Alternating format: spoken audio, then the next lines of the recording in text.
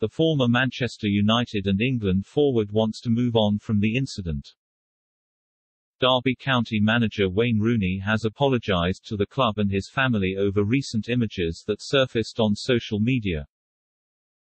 Several pictures of the former Manchester United and England forward on a night out with a group of women were shared without his consent. One of the images showed Rooney in the Chinawhite nightclub in Manchester, others showed the 35-year-old in a hotel room with three women from Cumbria. Sleeping while fully clothed on a chair as they posed beside him, a blackmail complaint regarding the images was made to police on Tuesday but dropped with no officers convinced of an offence. Rooney has now issued an apology and explained his actions amid Derby's financial woes ahead of the 2021-22 season.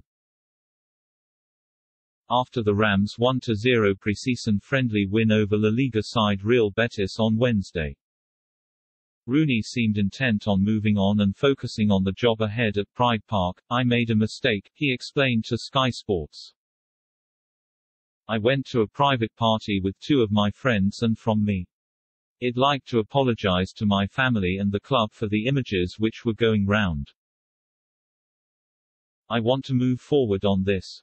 It's dealt with. I'm looking forward to moving forward and preparing for another game on Sunday.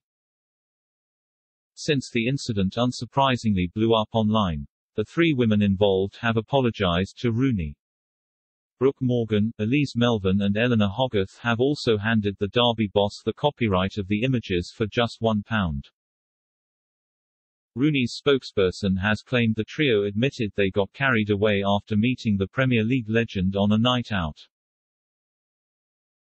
A statement released to the Mirror read, the three girls who took the photographs contacted Wayne's lawyers and volunteered to hand over all pictures that were taken that night and the copyrights in them.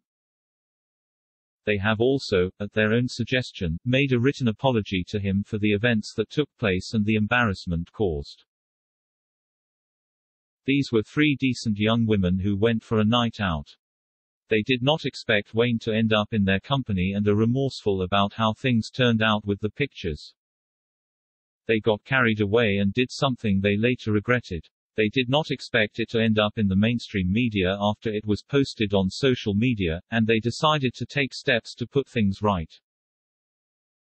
It would be wrong to say no money changed hands, because when a contract is drawn up, there must be a sum, and in this case, it was a nominal £1. They have fulsomely apologized because they wanted to do what they saw as the right thing and draw a line under the matter.